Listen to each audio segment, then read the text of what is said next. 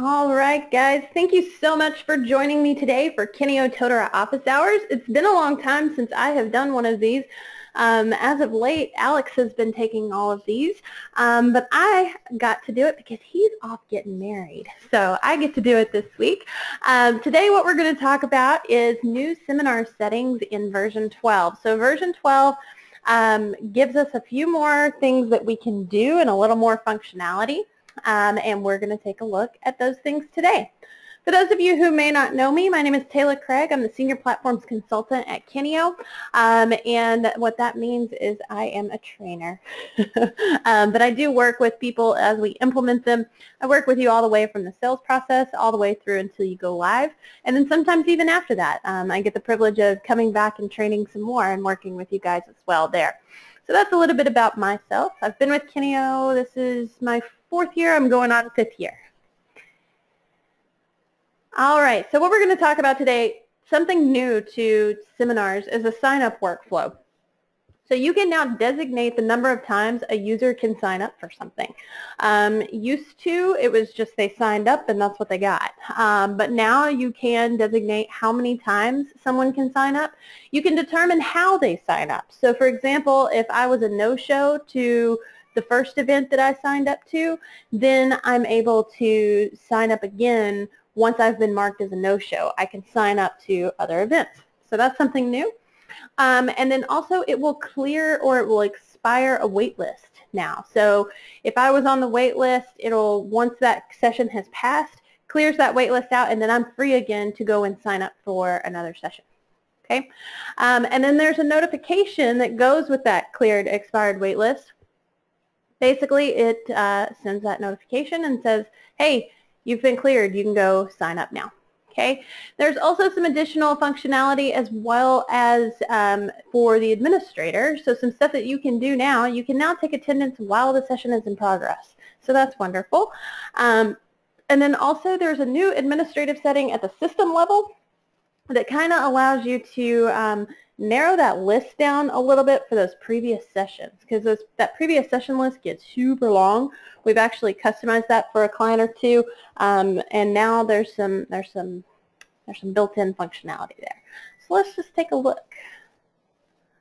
All right, let me get this over here so I can remember what I'm talking about. Let's first and foremost, let's talk about that sign-up workflow. So it's going to be inside of your seminar settings. So we're just going to go in zoom in a little bit. There's now a section called Sign Up Workflow. This require approval by, this was moved out of the approval section area and it was moved into the Sign Up Workflow, so it's now part of it. So now you can say how many times can a user sign up. So you can allow them to sign up one time, 10 times, or unlimited. Um, you can tell they can sign up for the same event or a different event. It's not going to have to be the same event that they sign up for think there is a question. Excellent. So, and then restrict subsequent signups. So here's what you can do. So you can say they can only sign up again if they've fully attended or if they've partially attended or if they were a no-show. So this is going to give you that functionality to say, okay, this is, you can sign up again, but you have to have been marked as one of these other things. Okay. Um, here's that cleared expired wait list to just kind of get a little more detail. So a waitlist for event gets cleared when they start allowing users to sign up to a new event. And there's this is the name of that notification. I'm glad I opened this up. It's called waitlist sign up expired notification. And that now gets sent out letting users know that they can then go back in and they can start to sign up again. We have, we've always had the declare interest option at least since probably version 9 at the very earliest, I would think. So that one's always been there. Same with the requiring approval by. So that has been there as well. Let's take a look at that notification. Let me grab the title of it just so I can do a search for it. So for those of you who may not know, you can send a notification for every seminar that you uh, create.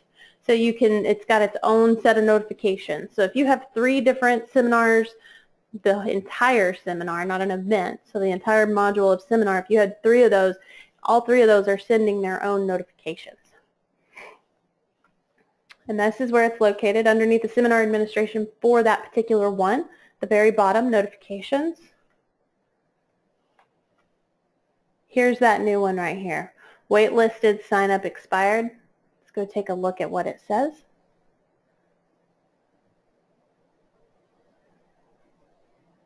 Okay. So basically, it's letting them know waitlisted group has signed up for the following course has been canceled due to the event starting. So waitlist cancellation. Personally, looking at this notification, the word cancellation to me would uh, make me as a learner go, huh, guess I can't do anything. So this might be something to be aware of. This might be something to come in here and maybe change the wording on and say waitlist, I don't know, re reword it where it sounds like the learner can go do something now. They can go take action. Um, just be aware of those types of things. As always, you can send a manager a copy. You can send them a copy of it as well. Status checkbox means that it's active and it will be sent. So let's take a look also in here. Taking attendance while a seminar is in progress. So I'm going to cheat a little bit and I'm going to add some attendees to a session and then I'm going to set it to be in progress. So we're going to throw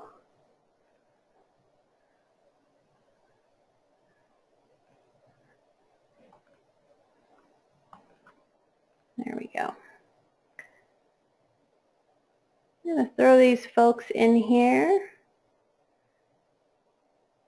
This is just, this is a functionality that we've always had being able to override and just add people to a session.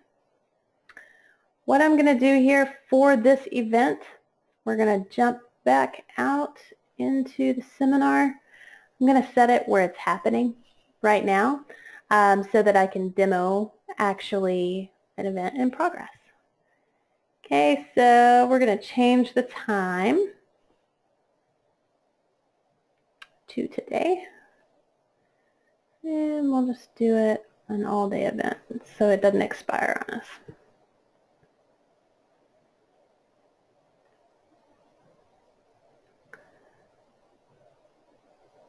All right, so you'll notice that my status changed from booking open to event in progress, meaning that a learner can't come in and sign up at the last minute.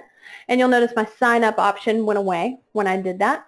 So I'm going to click on the attendees link and now check that out. That Take Attendance tab is active. Um, so this is a nice new feature um, that we weren't able to do in earlier versions. And a lot of people want to be able to do this while the people are literally standing in front of them. So this is really helpful that we can now go in and we're going to mark Jon Snow as a no-show because the end of Game of Thrones was disappointing. Spoiler alert. I should probably put that in there. Sophia Petrillo will say she was fully attended and SpongeBob will say he was fully attended. Okay, so we can take attendance while we're working through this and while the session is in progress, which is wonderful. Um, and also this would allow, of course, if you had any completions based around uh, uh, attendance or anything like that, it's going to trigger those completions. And so learners are going to be able to access anything that they may need to access in the session in that live event while they're there with you. So that's something to be aware of. You can now do that. You don't have to go in and trick the system or anything like that anymore, which is great. So moving back out to my seminar course take a look at this. This is cool. So now we have, this is, a, you set this at the system administration level. I'll show you where you do it. But this is a new feature, showing events from the last 30 days. So right now I only see two events, but if I click show all, I can now see three events which is wonderful. So there's one that happened back in June. So um, that's something to keep in mind. That's something that's available. Really, really a nice feature. Um, and where you set that, that is going to be at the system level. It is going to be underneath Learning Seminars. It's underneath Seminar Global Settings right here. And